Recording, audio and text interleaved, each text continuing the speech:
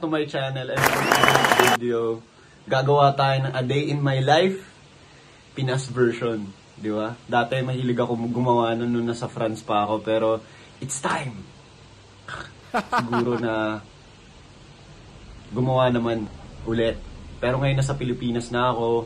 Bumalik na naman ako dito. Di ba parang sinasabi ko pa dun dati na parang gusto ko na umuwi. Pero yun nga, nandito na ako ulit. Di ba? Tapos ngayon miss ko yung France. Pero yun nga guys, samahan nyo ako and actually so, kakagising ko lang and sasamahan nyo ako sa aking araw kung ano, bang, ano nga ba ang gagawin ko sa bahay namin.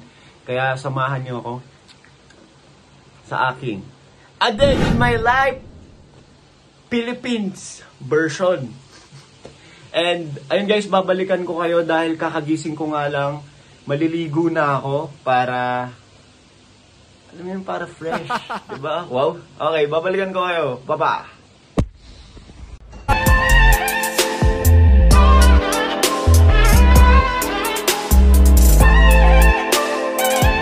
Guys, maliligo na ako and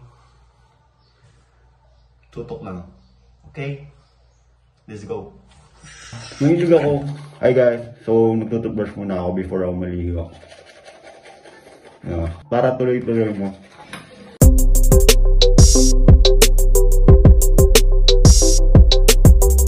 Ako maligo. So, magbibihis tayo. And syempre, ang gusto kong bihis ngayon parang aesthetic. Aesthetic. So, mag-edit. Gab. Lagi mo, aesthetic. so, lang. so, ayun ano na babalik ako kasi magbibihis ako. So, tuloy-tuloy lang ang ating A Day in My Life, Philippines. Version! Hi guys! Ngayon, tapos na akong maligo and syempre, hindi pa ako kumakain ng lunch, kaya kakain na ako ng lunch. Ang, ang ulam namin is, ano yung niluto natin? Niluto mo? Garlic mushroom chicken. Okay, papakita namin sa inyo kung anong itsura ng niluto niya. Mga masarap. Ayan. Kita nyo? Siya nagluto niyan. Di ba parang dati si mama lang yung nagluluto. Papanood niyo sa vlog ko dati, di ba? Bakit natatawa ka? Parang may inis ka. Yung, yung hindi naman mag-support sa akin eh. Serious. So, ayun guys, magsasantok muna ako ng food. Tapos, nilibre niya ako ng milk tea. And yung feeling talaga ngayon is super aesthetic lang. Sobrang chill. And, and babalikan ko kayo. And stay put.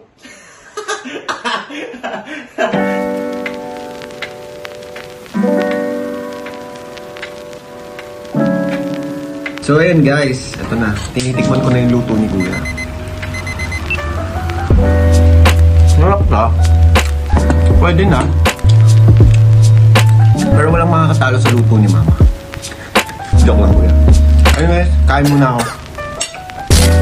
Ayun guys, kakatapos ko lang kumain. So, gasan ko yung pinagkainan ko syempre. Dapat ganun. Hugasan.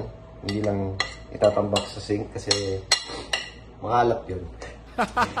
Diba? Okay. Sana nag-enjoy kayo sa vlog ko. Pero nakakamiss talaga maging active sa YouTube. Lalo na dati, nung nasa France ako, sobrang effort ko talaga mag-edit and binibigay ko talaga lahat yung oras ko sa pag-edit. Kahit, kahit dati, walang nanonood. Ano yun?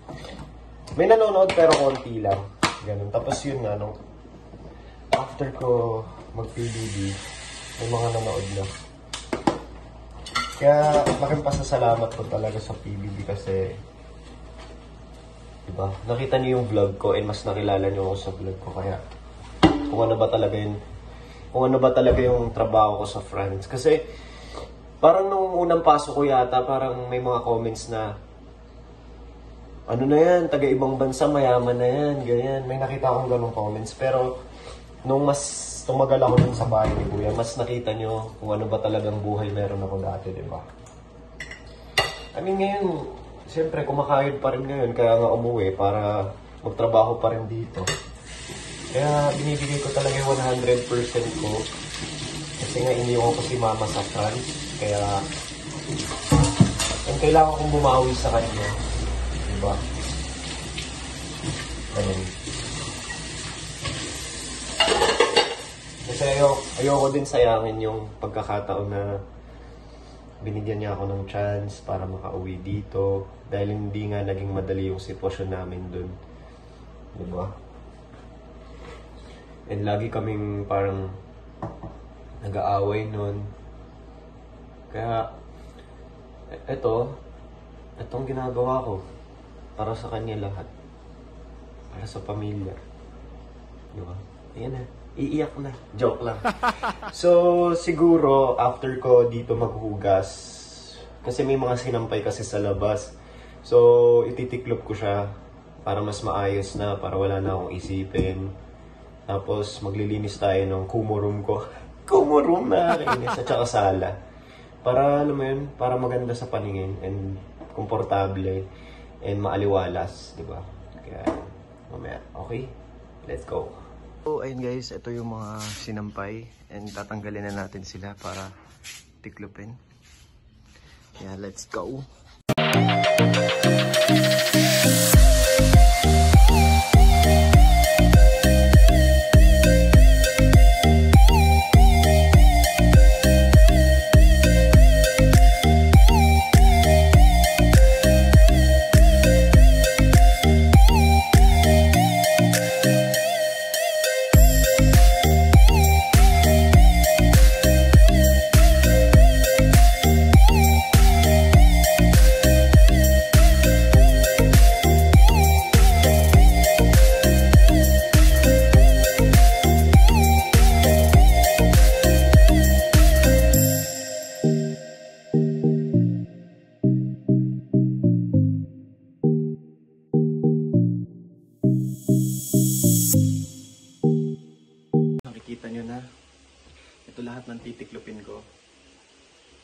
sa akin to. Pati kay kuya, titiklopin ko na. So, let's go. Ang dami. Ang dami pero wala tayong choice eh. Kailangan natin tiklopin.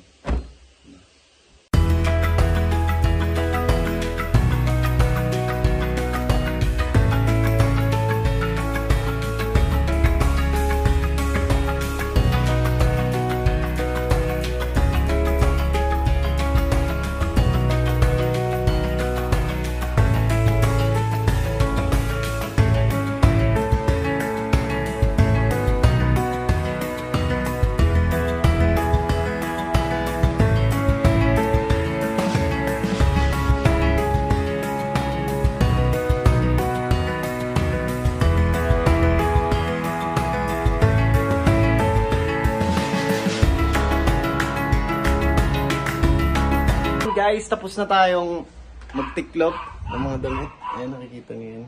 Inakit ko na yung iba. Yung mga inakit kong inuna is kay kuya. So, tinira ko muna tong sa akin para videoan ko, pakita ko sa inyo. So, after natin dito, actually tapos na ako pero liligpitin ko yung mga hanger. Tapos, ayun, maglilinis na tayo ng kumurum. Kumurum feeling. Sige guys, babalikan ko kayo, okay? So, andito na tayo ngayon sa aking Kumu room. Wow! Kumu room. Pero ano lang, konting trivia lang. Itong dating pinagagamitan ko ng pagla-livestream sa Kumu. Ito yung dati namin sala. Nung buo pa, nung dating dati pa, nung bata pa kami, dito yung dito yung sala namin. Actually, dalawa yung sala namin. Kasi dating garden to. Kaya kung mapapansin nyo, may bintana dito, di ba? Kasi nga, dati labas to, pero pinarenovate tapos ginawa siyang sala. So, growing up, oh, growing up! Basta, dito, dito sa side na to, dati may, may malaking ano dyan, parang, anong tawag doon? Basta mga patunang, patungan ng mga laruan. Nandun yung mga collectibles namin, nandun yung, yung mga binibili naming laruan sa Jollibee, sa McDo. Kasi mahilig kami mag-collect dati ni Kuya ng mga laruan dati, kaya marami kaming laruan. Pero ngayon, syempre, pinamigay na siya. And kasi naranasan namin dito dati sa bahay na to, nagkaundoy. Nagkaundoy dito. Tapos nung nagkaundoy, halos lahat ng gamit namin nasira, nawala. Hindi naman nawala. basta nasira siya kasi nga sobrang taas nung baha nun dito nung Undoy nung 2009 yan. September 26, 2009. Hindi hindi ko makakalimutan yun kasi ayun yung araw na nalayo talaga ako kila mama at saka kila papa, kila kuya, ganyan. Kasi si kuya birthday niya nun.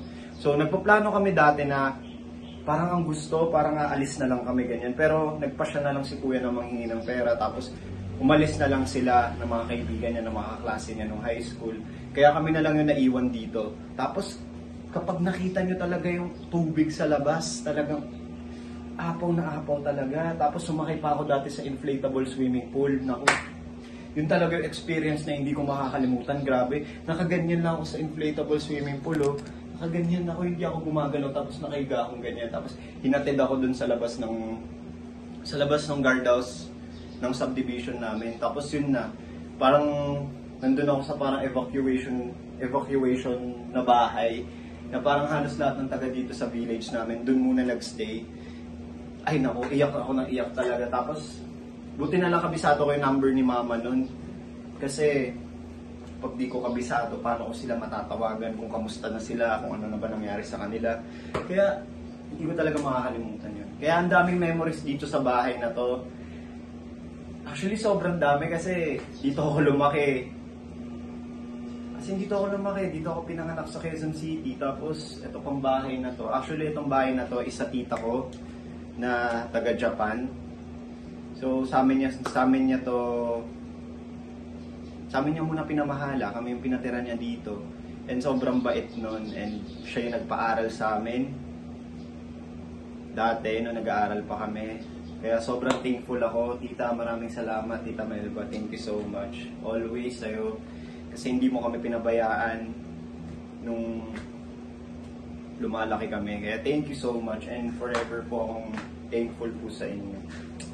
So, ayun guys, uh, I think we need to start na maglinis kasi mahaba-haba tong mahaba-haba tong laban na to kaya in 5 4 3 2 1 let's go.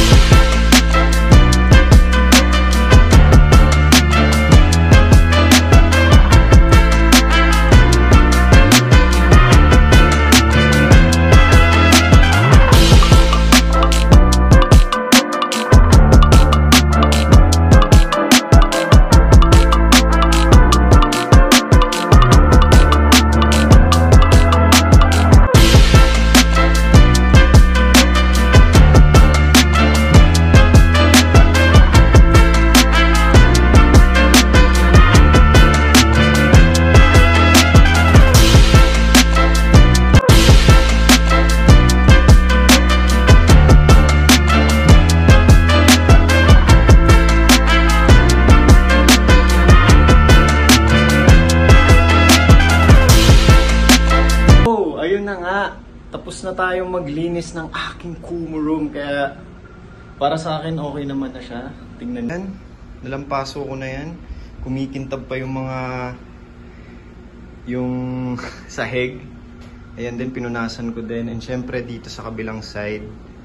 Ayan, ang aming sala dati. Pero ngayon nga eh, aking Kumu room na. So ayun, maraming maraming salamat po sa lahat ng nanood nag-like and nag-share. And please don't forget to subscribe to my channel and hit the notification bell para lagi kayong updated sa aking bagong video. Kaya maraming salamat guys. Dito nagtatapos ang aking A Day in My Life Pinas. Kaya maraming maraming salamat. I love you all. For lifer, bye-bye!